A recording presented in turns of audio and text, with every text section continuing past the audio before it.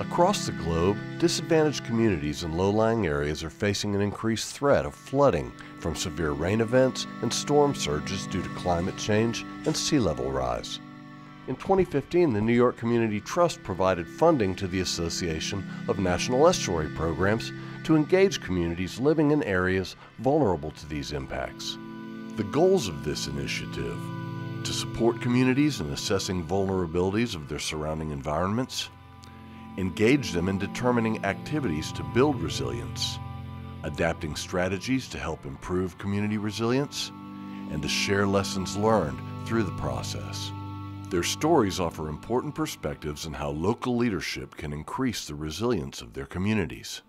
For over a century, the North Shore of Staten Island in New York has been a manufacturing hub due to its proximity to the rest of the metropolitan area and navigable waters. But through poor shoreline management and rising seas, these hazardous industrial sites are increasingly threatening low-lying communities. The New York, New Jersey Harbor Program partnered with the North Shore Waterfront Conservancy in their ongoing efforts to create action through awareness of these dangerous sites and this situation. People kept saying somebody needs to do something. I live here and I had people that are my neighbors that I liked dying of cancer. They were just dropping off one after the other. And then I started doing research about the Archer Daniel Midlands Manhattan Project site and finding out that it was radioactive and that it had been radioactive for some 70 years, I'm like, okay, if we have one site that has a contamination issue, how many other sites have contamination issues? We identified 21 sites with contamination issues.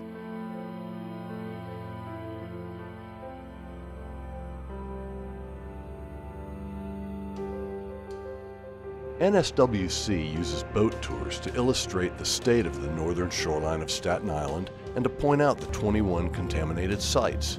They provide two tours. The first is aimed at concerned residents, political leaders, representatives from government agencies, and social justice organizations. The second is for fifth graders from the local elementary school. Today we did our, our North Shore Waterfront Conservancy Environmental Justice Boat Tour. And the boat tour was to give people a sense of understanding that the North Shore is where you have your heavy duty industry. You have a waterfront filled with contaminants that have been here for 150 years.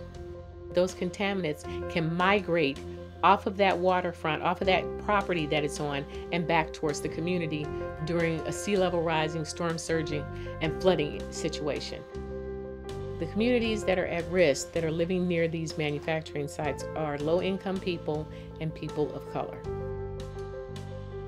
We do one tour for fifth graders. They love the bridges, they love the ship graveyard, but they also like the content of what we're talking about in terms of how we affect the environment and how the environment affects us. No one backs up and looks at the bigger picture, and it's very important to look at the bigger picture. And today we were looking at the whole picture for Staten Islanders. NSWC used insights from these tours and other outreach activities to prepare and distribute a community brief for city officials. This document outlines an integrated strategy that uses wetland restoration, living shorelines, and better shoreline management to reduce the neighborhood's vulnerability to climate change. If we are able to get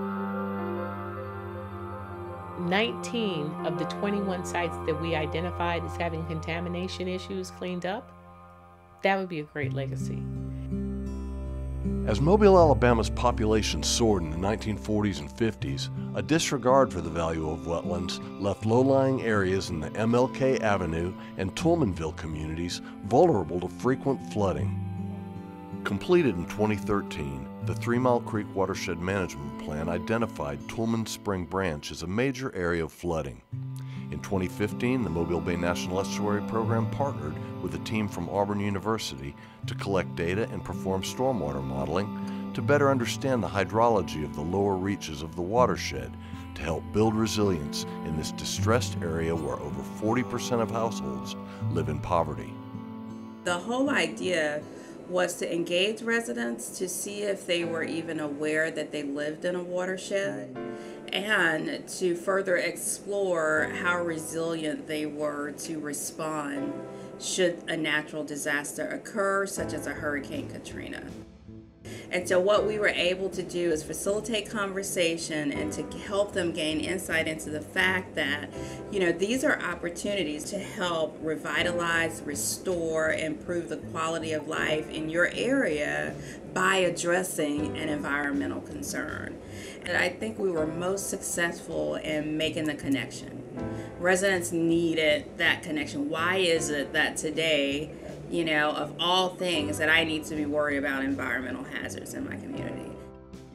Most residents of the Toulminville community have lived there for decades, but across Three Mile Creek, the MLK Avenue community is evolving. We got engaged in working with the Mobile Bay National Estuary Program and partnering with our Leadership Academy where we took citizens, emerging leaders, reluctant leaders from the community, and so the residents learned about, you know, what a watershed is, uh, why Three Mile Creek needs to be properly maintained, how it potentially can help in the reduction of flooding, as well as improve water quality for the community. Members of the Leadership Academy not only became civically active through engaging with city government leaders, they also precipitated the creation of a conservation corps to employ young men and women from the community to help implement recommendations of the Watershed Management Plan. This program has basically been focused on eradicating invasive species and cleaning out drainage ways for the surrounding cities.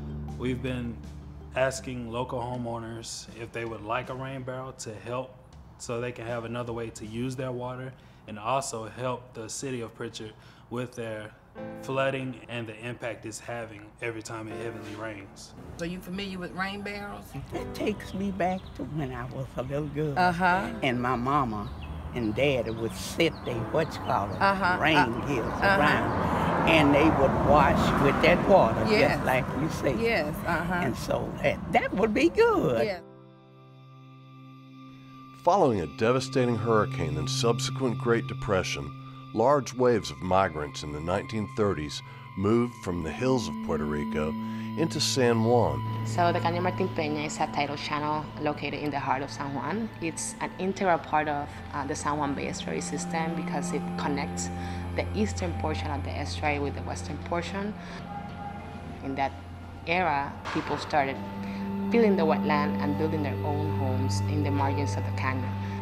A channel that used to be up to 400 feet wide now is in some areas up to three feet wide. A lot of the communities in this area have a lack of adequate infrastructure, uh, which means that a lot of raw sewage discharges into the channel. Uh, if you add a clogged channel with an influx of raw discharge, uh, what you have is a public health issue. Uh, every time it rains here, uh, it communities have a potential of getting flooded with contaminated water, which also affects the quality of life of the over 26,000 residents living in this area. In San Juan, the community building process began 20 years ago, providing residents a head start in implementing measures to improve resiliency. So whenever we find resources like the one from the New York Community Trust, we communicate with the with the community leaders and those local entities that are working with them to see what their priorities are. And in this case, we wanted to advance the, the whole issue of making less vulnerable, more resilient the community of the Martin Peña Channel.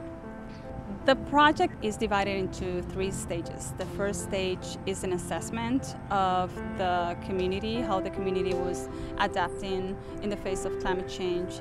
The second stage was us with the children. After providing workshops about what climate change was, we incorporating GIS and photographing their surroundings. The kids were able to develop um, rap songs about climate change. They were bringing words that would come to their mind about climate change, which is probably inundación, which is flooding, and vulnerabilidad, which is vulnerability.